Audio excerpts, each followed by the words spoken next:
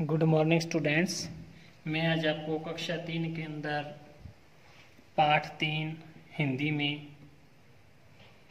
लिखित प्रश्न उत्तर करवाऊँगा।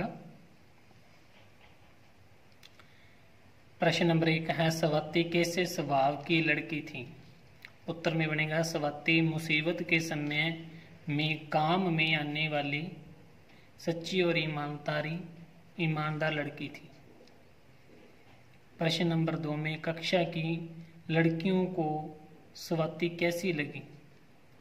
उत्तर में कक्षा की लड़कियों को स्वाति घमंडी लगी।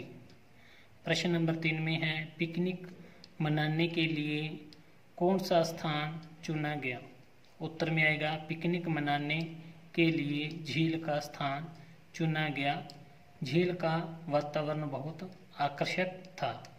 तो प्रिय बच्चों, आज की लिए बस इस पाठ का इतना है। बाकी जो बच गया वो आपको अगली वीडियो के अंदर करवाया जाएगा। धन्यवाद। आपने इसको अच्छी तरह याद करके लिख लेना है। धन्यवाद।